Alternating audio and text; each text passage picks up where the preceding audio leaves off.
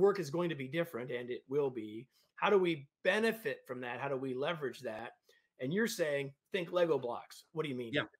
So uh, maybe I'll even it, it, look, I'm a small company, we're 50 people. Um, but maybe I can share how it's impacted me.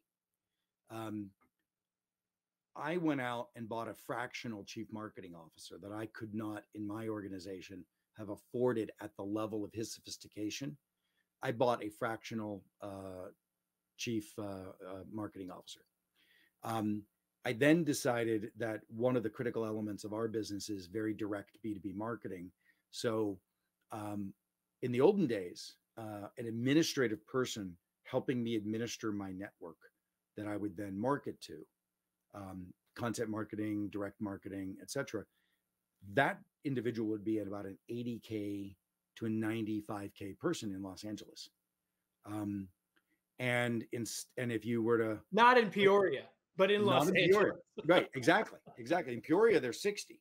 You know, but guess what? In the Philippines, they're 20, and they're bright as heck, driven and ambitious, willing to work on my time zone. Bro, So they get up, they start working at 10 in the evening and go to like six or whatever. And um, perfect English, drive and ambition.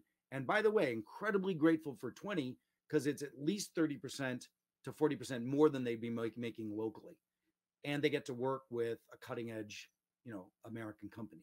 And so I have built out a six person marketing team that has cost me probably less than two FTEs. And that's a Lego block workforce. That's an example of a Lego block workforce.